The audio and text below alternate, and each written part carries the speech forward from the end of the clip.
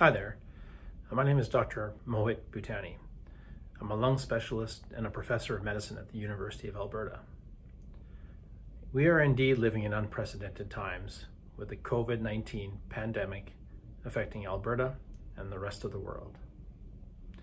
COVID 19 is a respiratory virus, and it belongs to a group of respiratory viruses known as the coronavirus. You're going to hear the name coronavirus or COVID 19 used interchangeably, but they essentially are the same thing.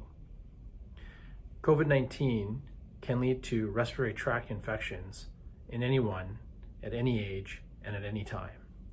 You don't have to have an underlying lung condition to acquire this infection.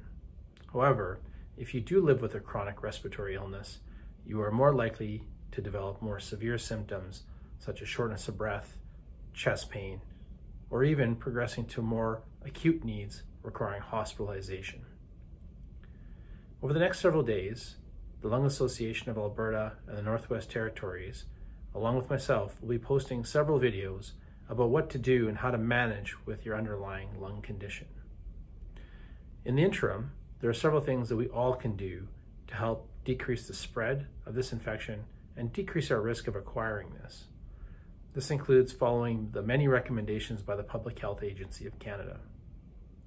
This includes trying to stay at home as much as possible, and including working from home if possible. If you do have to leave the house, then practicing physical distancing and trying to stay at least two meters or six feet away from someone else. We'd also recommend that you wash your hands regularly with soap and water for at least 20 seconds or use some hand sanitizer. Importantly, in the messaging of trying not to leave the home, if you do have an upcoming physician's appointment, it may be worthwhile to give your physician a call to determine whether or not you need to come in or whether they can assess you through other means, such as the phone call itself or by using virtual technologies.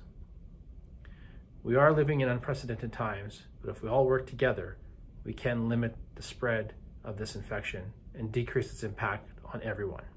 The Lung Association of Alberta and the Northwest Territories is committed to be standing alongside you during this pandemic. We're here to help you through this, to answer your questions, all along the way.